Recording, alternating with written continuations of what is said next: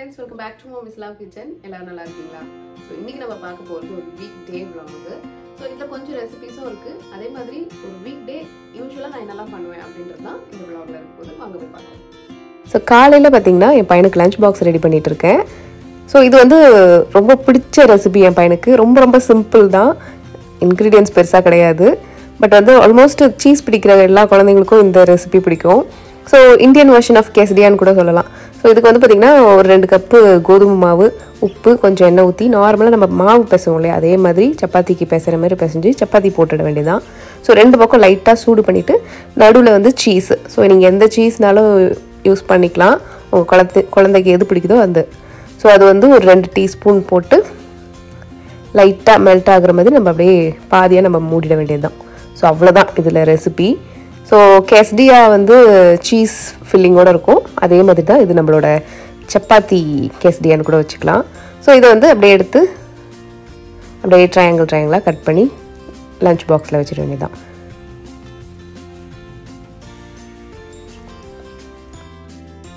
So இது வந்து பார்த்திங்கன்னா நம்மளுக்கு அந்த லஞ்ச் பாக்ஸ் மிஸ் ஆகாத ஃபுட்டு லிஸ்ட்டில் இதுவும் வரும். செய்கிறதுக்குமே பார்த்திங்கன்னா ரொம்ப சிம்பிள் தான். குழந்தைங்க ஆல்மோஸ்ட் எல்லாருக்குமே இது பிடிக்க தான் செய்யும். ஸோ ஸ்நாக் பாக்ஸுக்கு ஸ்ட்ராபெரி அண்ட் குக்கீஸ் வச்சுருக்கேன். லஞ்ச் பாக்ஸுக்கு சீஸ் சப்பாத்தி அப்புறம் கேரட்ஸ் அப்புறம் ஸ்ட்ராபெரி அண்டு uh, உளுந்து லட்டு. ஸோ பேலன்ஸ்டாக இருக்கும் இந்த மாதிரி கொடுக்கும்போது. ஸோ லஞ்ச் கொடுத்து பையனை ஸ்கூலுக்கு அனுப்பியாச்சு. ஸோ இப்போ பார்த்தீங்கன்னா பாயசம் செஞ்சுருக்கேன். ஸோ இதை வீடியோ எடுக்க மறந்துட்டேன். ஸோ இன்றைக்கி வந்து ஃப்ரைடே ஈவினிங் யூஸ்வலாக சாமி கும்பிடுவோம். பட் வந்து இன்றைக்கி ஈவினிங் எனக்கு வேறு வேலை இருக்கிறதுனால நான் மார்னிங்கே சாமி கும்பிட்டுட்டு நெக்ஸ்ட்டு என்னோடய பிரேக்ஃபாஸ்ட் வேலையை ஆரம்பிக்க போகிறேன் ஸோ பிரேக்ஃபாஸ்ட்டுக்கு வந்து பார்த்திங்கன்னா இந்த நூடுல்ஸ் தான் செய்ய போகிறேன் ஏஷா தாய்வான் நூடுல் இது வந்து ஒரு காஸ்கோவில் கிடைக்குது. ஒரு பெரிய பேக்கில் வந்து ஒரு டுவெல் பேக் அந்த மாதிரி வரும்.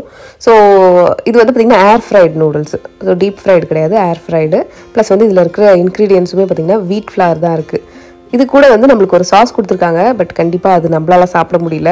ஸோ அதை நான் யூஸ் பண்ண மாட்டேன். பட் நம்மளோட மசாலா தான் யூஸ் பண்ண போகிறேன் ஸோ நம்ம இந்த உமாமி சீசனிங் பற்றி இன்றைக்கி தெரிஞ்சுக்கலாம். ஸோ இதுவுமே நான் வந்து காஸ்கோவில் தான் வாங்கினேன்.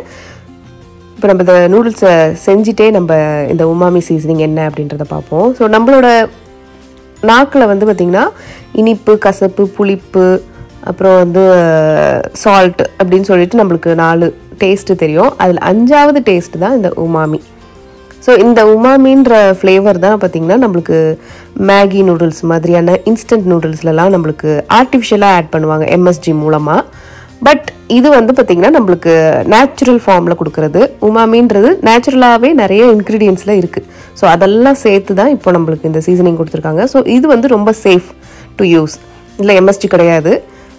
ஸோ நம்ம வந்து என்ன மாதிரி ஃபுட்டு சாப்பிட்றோன்றதை பார்த்து தான் நம்மளோட நெக்ஸ்ட் ஜென்ரேஷனும் குழந்தைங்களும் சாப்பிட போகிறாங்க ஸோ சில ஃபுட்டெல்லாம் வந்து ரொம்ப கான்ட்ரவர்ஷியலாக இருக்குது அப்படின்னா கண்டிப்பாக அதில் ஏதாவது கொஞ்சமாவது உண்மை இருக்க தான் செய்யும். ஸோ அதை வந்து நம்ம ஃப்ரீக்வெண்ட்டாக யூஸ் பண்ணாமல் எப்பயாச்சும் இல்லை இந்த மாதிரி நம்ம அதுக்கு ரீப்ளேஸ்மெண்ட்டு நேச்சுரலான ரீப்ளேஸ்மெண்ட்டு நம்ம உருவாக்கிக்கிறது நல்லது. ஸோ உங்களுக்கு வந்து இந்த மேகி மசாலா இருக்கு இல்லையா? அது அதனோட ஃப்ளேவர் அப்படியே எக்ஸாக்டாக வேணும்னா டிஸ்கிரிப்ஷன் பாக்ஸை செக் பண்ணுங்கள் நம்ம ஏற்கனவே இது ஒரு இந்த வீடியோ போட்டிருக்கோம். அதுவுமே ரொம்பவே நல்ல ஒரு ரீப்ளேஸ்மெண்ட்டாக இருக்கும். ஸோ இது வந்து பார்த்திங்கன்னா நான் ஃபஸ்ட்டு எண்ணெய் ஊற்றினேன் அப்புறம் ஆனியன் போட்டேன் அப்புறம் இஞ்சி பூண்டு பேஸ்ட்டு அப்புறம் காய் வந்து கேரட் அண்ட் கேப்சிகம் அது போட்டுட்டு லைட்டாக சாட்டே ஆனால் போதும். ஸோ இந்த உமாமி சீசனிங் வந்து நேச்சுரலான இன்க்ரீடியன்ஸ்லேருந்து எடுப்பாங்கன்னு சொன்னேன் இல்லையா? ஸோ தக்காளி அப்புறம் மஷ்ரூம் ஃபிஷ்ஷு அதனோட இதெல்லாம் வச்சு நம்ம ஃபர்மெண்ட் பண்ணி எடுக்கிற ஒரு ஃப்ளேவர் தான்.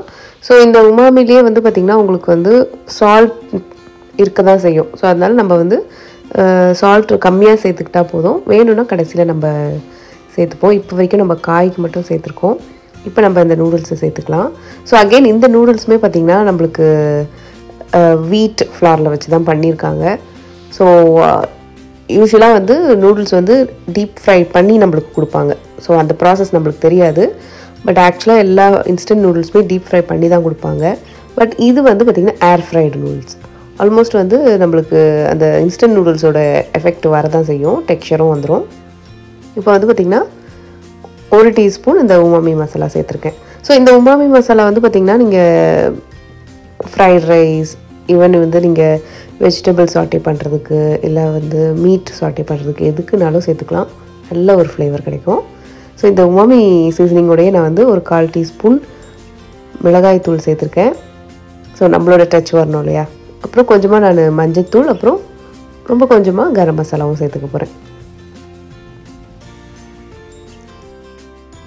ஸோ எங்களோட பிரேக்ஃபாஸ்ட் சூப்பரான நூடுல்ஸு ரெடி ஆகிடுச்சு ஸோ இதை சாப்பிட்டுட்டு நெக்ஸ்ட்டு நான் லஞ்ச் வேலையும் அப்படியே கையோடு ஸ்டார்ட் பண்ணிட போகிறேன் ஸோ இன்றைக்கி வந்து ஃப்ரைடே ஸோ ஆல்மோஸ்ட் நான் வாங்கி வச்சிருந்த வெஜிடபிள்லாம் காலியாகிற ஸ்டேஜ் வந்துருச்சு. ஸோ இருக்கிற வெஜிடபிள்ஸை வச்சு இன்றைக்கி நம்ம லன்ச் பண்ண போகிறோம் ஸோ நெக்ஸ்ட் டே திரும்ப கடைக்கு போய் எல்லாத்தையும் ரீஸ்டாக் பண்ண வேண்டிய நாள்.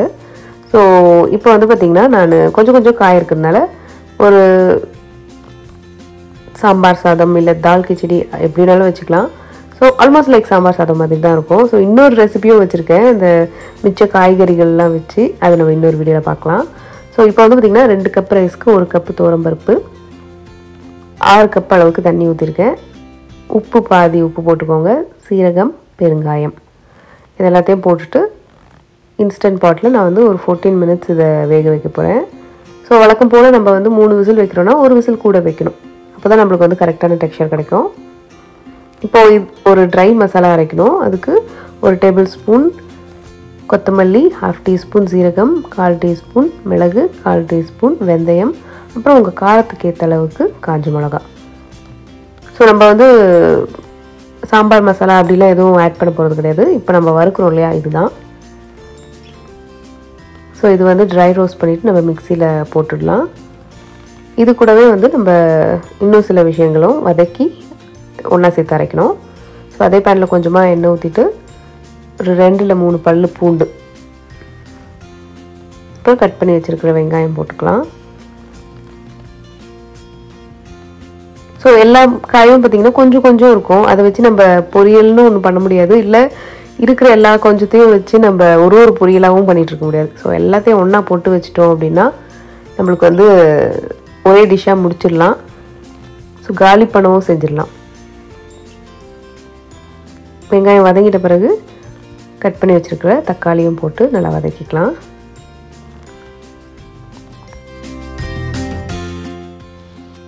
ஸோ தக்காளி வதங்கிட்ட பிறகு இதை ஆற வச்சுட்டு நம்ம ஏற்கனவே ட்ரையாக ரோஸ்ட் பண்ணி வச்சுருக்கோம்ல அது கூட சேர்த்து நம்ம ஃபைனான ஒரு பேஸ்ட்டாக அரைச்சி வச்சுக்கலாம்.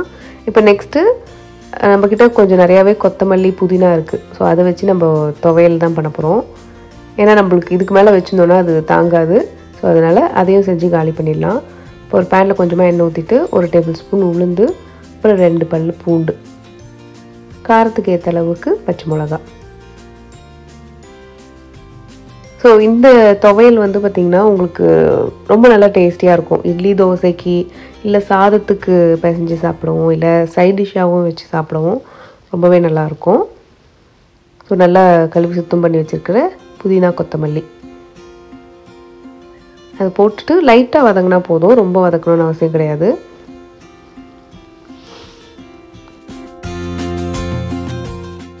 ஸோ இது ஒரு ரெண்டு நிமிஷம் வதங்கிட்ட பிறகு ஒரு சின்ன துண்டு புளி அதையும் போட்டுட்டு நம்ம ஸ்டவ் ஆஃப் பண்ணிடலாம். இப்போ இது நல்லா ஆறிட்ட பிறகு நம்ம தேங்காவோட சேர்த்து இதை அரைச்சிட வேண்டியது தான் ஸோ சாம்பார் சாதத்துக்கு வந்து பார்த்திங்கன்னா கேரட் குடமிளகா உருளைக்கிழங்கு அப்புறம் கேபேஜ் பட்டாணி அவரைக்காய் முருங்கைக்காய் இதெல்லாம் எடுத்து வச்சுருக்கேன் நான்.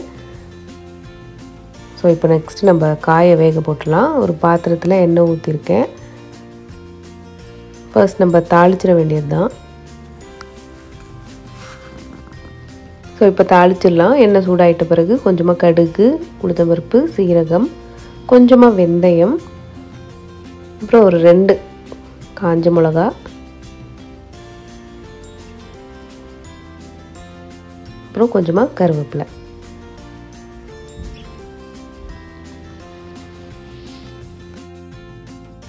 ஸோ இப்போ நம்ம பொடியாக கட் பண்ணி வச்சுருக்கிற வெங்காயத்தை சேர்த்துக்கலாம். ஸோ இது வந்து ஒரு ப்ராப்பர் சாம்பார் சாதம்னு சொல்ல முடியாது. நம்மக்கிட்ட என்ன காய் இருக்கோ அதை வச்சு பண்ணுறது தான் பட் இதோட டேஸ்ட்டுமே ரொம்பவே நல்லாயிருக்கும் ஏன்னா நம்ம மசாலாலாம் நம்மளே வறுத்து அரைக்கிறதுனால. இப்போ நான் கொஞ்சமாக பெருங்காயமும் சேர்த்துருக்கேன். நம்ம ஏற்கனவே பருப்பில் சேர்த்துருக்கோம். ஸோ இதுலேயும் கொஞ்சமாக சேர்த்துக்கிட்டா போதும். ஸோ இது இப்போ இது வதங்கிட்டு இருக்கட்டும். நம்ம வதக்கி வச்சுருந்த வெங்காயம் தக்காளி அப்புறம் நம்ம இந்த ட்ரை பொருள்லாம் இருக்குல்ல அதையும் ஒன்றா போட்டிருக்கேன். அப்புறம் காரத்துக்கு ஒரு ஹாஃப் டீஸ்பூன் மிளகாய் தூளும் சேர்த்துருக்கேன். ஒரு ஹாஃப் டீஸ்பூன் தனியாத்தூள் ஸோ இதெல்லாத்தையும் போட்டுட்டு இந்த மாதிரி ஃபைனான ஒரு பேஸ்ட்டாக அரைச்சி வச்சுப்போம். ஸோ இப்போ நான் வந்து எடுத்து வச்சுருக்க காய்கறிலாம் சேர்த்துக்கிறேன். ஸோ இப்போ நான் சேர்க்குறது எல்லாமே பார்த்திங்கன்னா ஃப்ராசன் வெஜ்ஜீஸ் அவரைக்காய் முருங்கைக்காய் பட்டாணி. ஸோ நம்ம வந்து ஃப்ரிட்ஜை காலி பண்ணுறோம் அப்படின்ற போது நீங்கள் ஃப்ரோசன் செக்ஷன்லேயும் இருக்கிற பொருளை கொஞ்சம் கொஞ்சமாக காலி பண்ணிகிட்டே வாங்க. ஏன்னா நம்ம வந்து அதை ரொம்ப நாள் வச்சு சாப்பிட்றதும் அந்தளவுக்கு ஓப்பன் பண்ணது ரொம்ப நாள் வச்சு சாப்பிட்றது வேஸ்ட்டு தான். ஸோ அதனால் முடிஞ்ச அளவுக்கு அதையும் சீக்கிரமாகவே காலி பண்ணி நீங்கள் நெக்ஸ்ட் உள்ளதை யூஸ் பண்ணிக்கலாம். ஸோ இப்போ நம்ம கட் பண்ணி வச்சுருக்கிற எல்லா காய்கறியும் சேர்த்துக்க வேண்டியதுதான். ஸோ இப்போ இந்த காய்க்கு தேவையான அளவு உப்பு அப்புறம் ஒரு கால் டீஸ்பூன் மஞ்சள்தூள் சேர்த்துருக்கேன். ஸோ சாதம் பருப்போடையே நம்ம இந்த காய்கறி போட்டிருக்கலாம் தான். பட் ஒன்றா போட்டுட்டோம் அப்படின்னா எல்லா காய்கறியும் நல்லா வெந்து மேஷ் ஆகிடும் ஸோ நம்மளுக்கு வந்து இந்த காயை சாப்பிடும் போது ஃபீல் பண்ணும் போது இன்னும் நல்லா டேஸ்டியாக இருக்கும். அதனால தான் நான் வந்து வெளியே தனியாக போட்டு வேக வைக்கிறேன். ஸோ இப்போ இதை மூடி போட்டுட்டு இந்த காய்கறி கொஞ்சம் வேகட்டும். ஸோ கொஞ்சமாக தண்ணி கூட நீங்கள் ஊற்றி நீங்கள் வேக வச்சிங்கன்னா உங்களுக்கு நல்லா குவிக்காகவே வந்துடும் காய்கறிலாம் அரை வெக்காடு வந்த பிறகு நம்ம அரைச்சி வச்சுருக்கிற இந்த பேஸ்ட்டை சேர்த்துக்க வேண்டியது தான் ஸோ இது ரொம்ப கெட்டியாக இருந்துச்சுன்னா ஒரு அரை கப் அளவுக்கு தண்ணி ஊற்றிட்டு கொஞ்சம் கொதிக்க விடுவோம். ஏன்னா நம்ம மிளகாய்த்தூள் தனியாத்தூள்லாம் அப்படியே தான் சேர்த்துருக்கோம். ஸோ ஒரு கொதி வரட்டும். ஒரு கொதி வந்த பிறகு நம்ம ஒரு சின்ன லெமன் சைஸ் புளி இருக்கு இல்லையா அதை நான் கரைச்சி ஊற்றிருக்கேன் ஸோ புளியும் ஊற்றிருக்கிறதுனால திரும்ப இன்னொரு ஒரு கொதி வரட்டும் ஒரு ஃபைவ் மினிட்ஸ் ஆகும். ஸோ அதுக்குள்ளே நம்ம புதினா துவையல் அது ரெடி பண்ணிவிடுவோம் ஸோ ஒரு ரெண்டு பீஸ் தேங்காய் எடுத்து ஃபர்ஸ்ட் நம்ம இந்த மிக்ஸி ஜாரில் போட்டு கொஞ்சமாக உப்பு போட்டு ஒரு சுற்றி சுற்றிக்கலாம் ஏன்னா இந்த துவையல்ன்றதே வந்து பார்த்திங்கன்னா கொஞ்சம் நம்மளுக்கு வந்து கடிப்பாடுற மாதிரி இருக்கணும். ரொம்ப ஃபைனாக இருக்கக்கூடாது. ஸோ தேங்காவை போட்டு ஒரு சுற்று சுற்றிட்ட பிறகு நம்ம வதக்கி வச்சுருக்கிற இந்த புதினா கொத்தமல்லி இது எல்லாத்தையும் போட்டுட்டு இதையும் வந்து நம்ம ஒன்றும் பாதியமாக அரைக்கணும். ஸோ நம்மளோட புதினா துவையல் ரெடி ஆகிடுச்சு இப்போ நம்ம காய்கறியும் பார்த்திங்கன்னா நல்லா கொதிச்சிருச்சு. இப்போ நம்மளோட இன்ஸ்டன்ட் பாட்டில் வச்ச சாப்பாடுமே சூப்பராக ரெடி ஆகி வந்துருச்சு. இப்போ நெக்ஸ்ட்டு இதை தூக்கி இந்த சாதத்தோட ஊற்றிட வேண்டியது தான் ஸோ இன்ஸ்டன்ட் பாட் வந்து நான் இப்போ இன்னும் சாட்டே மோடில் தான் வச்சுருக்கேன். நம்மளோட காய்கறியும் ஊற்றிட்டு ரெண்டுத்தையும் நம்ம மிக்ஸ் பண்ண போகிறோம்